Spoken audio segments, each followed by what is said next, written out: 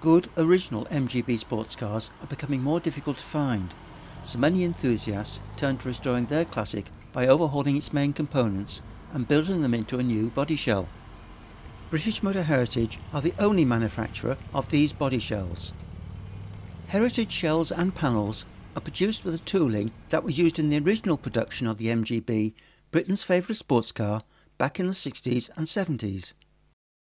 Some years after the last MGB came off the production line at the Abingdon factory, the press dies and assembly jigs were tracked down in various stockyards and die parks by David Bishop, who was then the MD of British Motor Heritage. By 1988, all the tooling had been located and the body shells came back into production.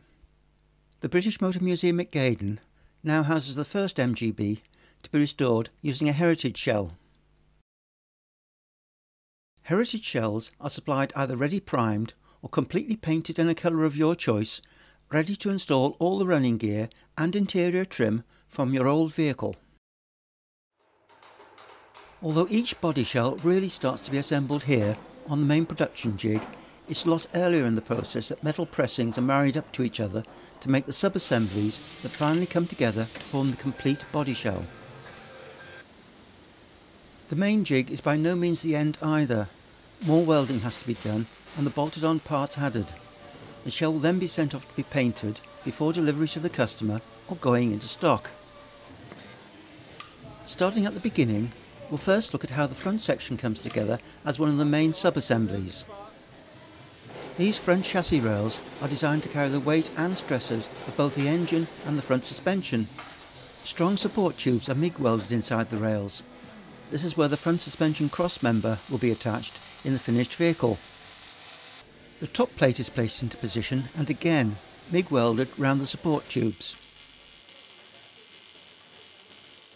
Finally, the top plate is welded to the main rail using the big floor standing vertical spot welder. These chassis rails are now the starting point for the construction of a complete front end section of the body shell. The operator works around the assembly using a hanging gun.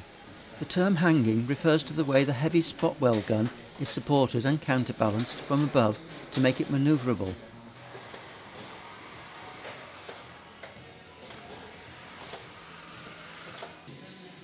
Welding of this front section is completed on a turnover jig, where access can be more easily gained to all areas. At this time, a number of other sub-assemblies are also being prepared. Here is a rear body section in production, and this is a rear wing being hand finished for a GT body shell. On the main jig, with the rear section in place, the front section is lowered into position to join it. These parts are firmly locked into the jig to ensure that the finished body shell will be absolutely true to the original MGB specifications. The castle rails that sit below the sills are put into place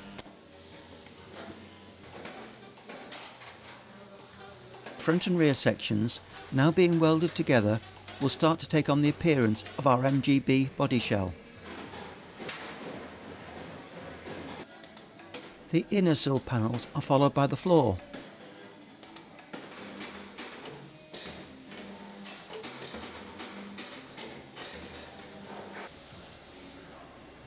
The outer sill and A-post assembly is placed into position and held rigidly by the outer jig frames which ensure that the door apertures are true fore and aft and side to side.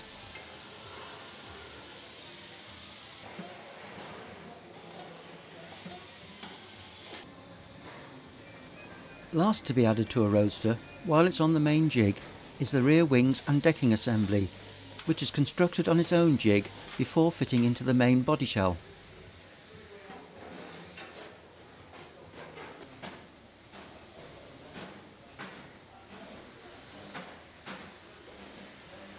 GT body shell is built on the same jig as a Roadster, but with extra outer frames added to define the screen and roof positions.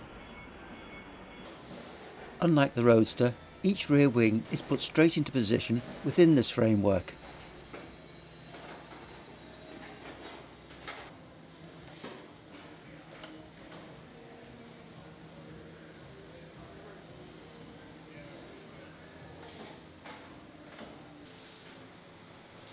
The roof goes on and is welded to the wing assemblies at the rear and the screen surround at the front.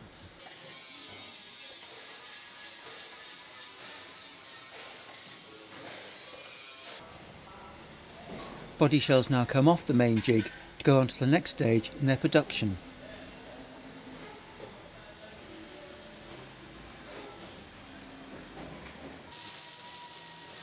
Much of the MIG welding in an MGB body shell is completed on a turnover stand.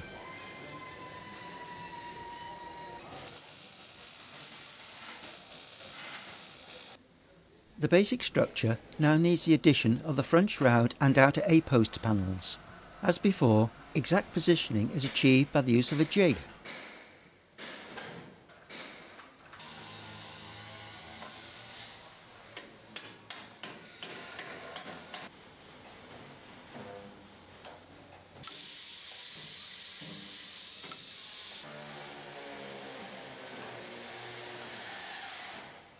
Heritage MGB body shells are supplied complete with what are termed bolt-on parts.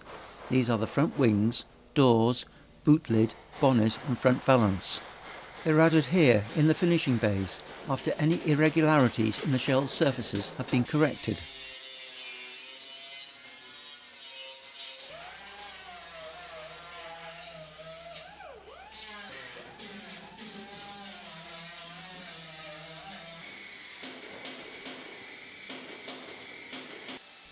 Tap is run through the weld nuts to ensure that the threads are clear before parts are bolted into place.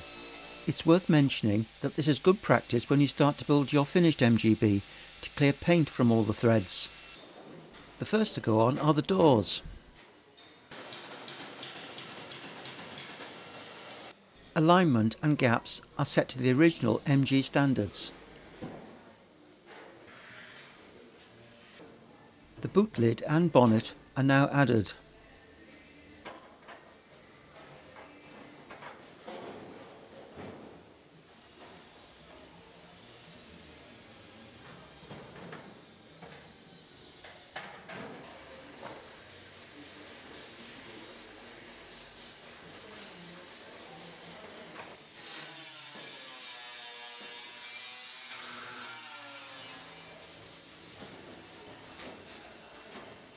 After the two front wings are bolted into place, a final check of door alignments is made.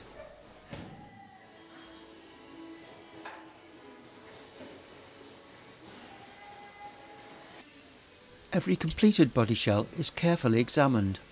The inspector will check that it's a correct specification for its particular model and for a number of aspects in the build quality.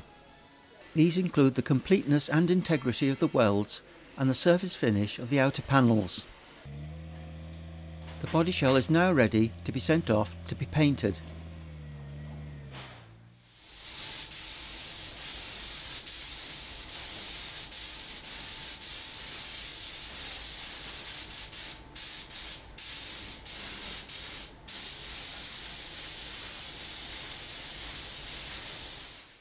On its return from paint, the body shell will either go into stock, be shipped to one of British Motor Heritage's approved specialists for their stocks, or delivered direct to a customer.